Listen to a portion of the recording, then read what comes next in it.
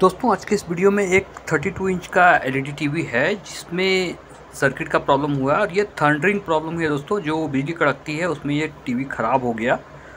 और अभी इस टीवी का जब मैं जाँच कर रहा हूँ, जब मैं देख रहा हूँ तो इसका पावर सप्लाई ऑन है बट इसका पैनल का जो वोल्टेज है, वो नहीं निकल रहा है और पैनल का भी लाइट नहीं आ रहा है। यानी इसके अंदर दो ही पैनल लगी होती है, दोनों पैनल के लिए करंट भी नहीं निकल रहा है और जब मैं उसे बाहर से करंट दे रहा हूँ तो भी पैन, पैनल ग्लो नहीं कर रहा है। ये इसका एसी इनपुट सेक्शन है और यहाँ पे ये पावर सेक्शन है दोस्तों।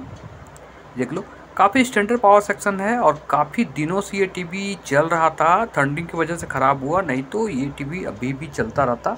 दोस्तों सी आर टी का रिकॉर्ड है कि वो पंद्रह साल, बीस साल तक लगातार ख़राब नहीं हुए बट मैंने देखा है कि एल टीवी किसी के यहाँ भी हो, वो दो तीन साल में बस ख़राब होना ही होना है। ये सबसे बड़ी प्रॉब्लम है एलईडी टीवी की।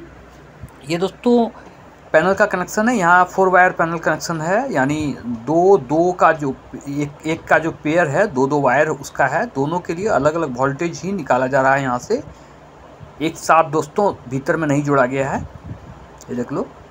और यहाँ पे दो कॉयल है, पैनल का जो सप्लाई है, उसके लिए अलग अलग सप्लाई के लिए दो अलग अलग दोस्तों, इसमें कॉयल दिया गया है। इसे एक ही कॉयल आपको देखने को मिलता है अदर में। और ये एस ट्रांसफार्मर है और एक जो आप देख रहे हो कैपेसिटर बड़ा सा ये दोस्तों मेन कैपेसिटर है, जो कि एसी फ़िल्टर के पास फ़िल्टर के बाद एसएमपीएस में लगाया जाता है। और यहाँ पे दोस्तों पावर सप्लाई जो बनाया गया है, ये मॉसपेट पे बनाया गया है। कई बार होता है कि ट्रांजिस्टर के ऊपर भी बनाया जाता है पावर सप्लाई बट यहाँ पे मॉसफेट के ऊपर बनाया गया और एलजी का जो बोर्ड है दोस्तों, ये काफ़ी स्टैंडर्ड बोर्ड है बट इसकी सबसे बड़ी प्रॉब्लम ये है कि अगर ये ख़राब होगा तो वही ओपन मार्केट में इसे रिपेयर करना बहुत मुश्किल है।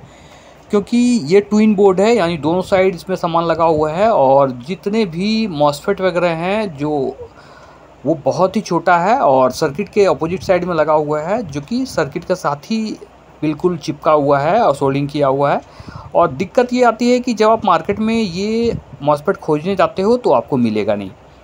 जैसा कि इसका पैनल इन्वर्टर कनेक्शन जो है, अभी जैसे नहीं आ रहा है तो बहुत ही आसानी से हम लोग अगर दूसरी जनरल सर्किट यदि होता तो बहुत ही आसानी से उसे रिपेयर कर देते। बट ये रिपेयर करना बहुत मुश्किल है। और ये दोस्तों, आप जो देख रहे हो, ये पैनल का जो फीता कनेक्शन है, यहाँ पे पैनल का जो सर्किट है दोस्तों, इसके अलावा भी एक सर्किट बीच में लगाया गया है। ताकि अच्छा पिक्चर क्वालिटी आ सके।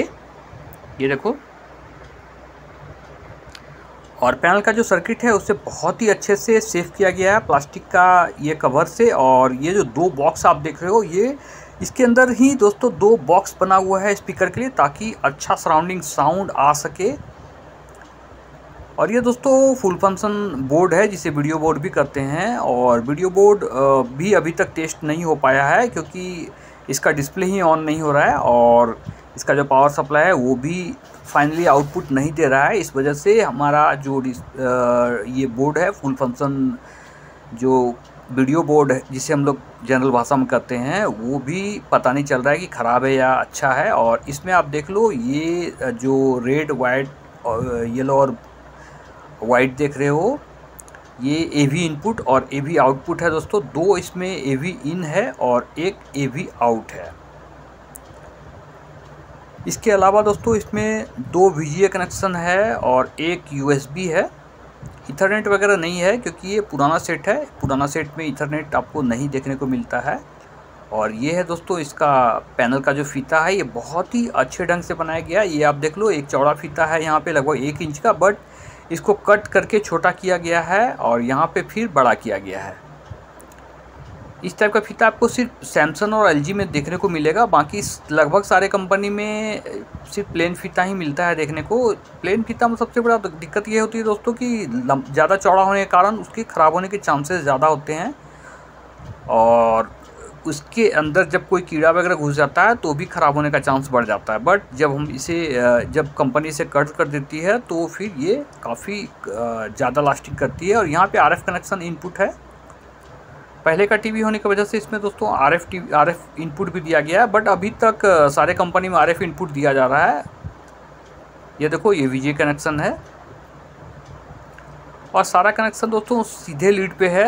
सबसे बड़ी दिक्कत ये होती है कि जब हम इसे दीवार में डाल देते हैं तो वहाँ पे सेट करने में ये दिक्कत आती है। और ये देख लो, यहाँ पे आप जो छोटा आईसी देख रहे हो, ये और एक, यहाँ पे दोस्तों रेगुलेटर आईसी है। तो दोस्तों, अगले वीडियो में इसको रिपेयर करने का भी प्रयास करूँगा और उसका भी मैं वीडियो बनाऊँगा। तो दोस्तों नेक्स्ट वीडियो बहुत जल्द आएगा तो आप उसे भी ज़रूर देखना और ये काफ़ी स्टैंडर्ड बोर्ड है एलजी का, जो कि काफ़ी लंबा समय तक चलती है। एक बार अगर आप ले लो तो काफ़ी लंबे समय तक ये ख़राब नहीं होती।